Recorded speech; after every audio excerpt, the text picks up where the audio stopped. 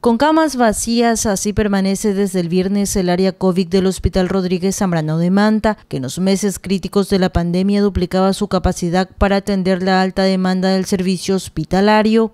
Llevamos ya el cuarto día sin ingresos dentro de esta área eh, de terapia respiratoria para COVID.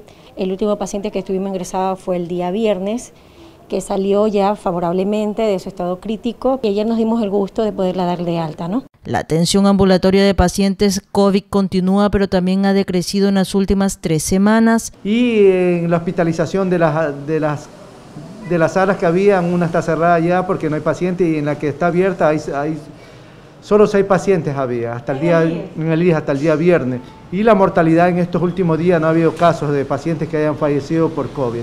Mientras la curva epidemiológica de contagio continúa en descenso, Personal de salud en primera línea recuerda lo duro que ha sido el trabajo en estos meses y el dolor de lidiar con las vidas que el COVID apagó. Estuvo aquí ingresada una paciente ginecológica este, con su papá.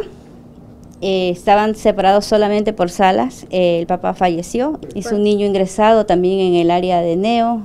Este, pero gracias a Dios el niño sin la enfermedad. Sobrevivientes a la enfermedad aseguran que el costo económico y las secuelas son una segunda batalla que deben luchar. Y aún así sigo eh, con las recetas, que de a 70 dólares, 130 dólares ahora en estos dos meses.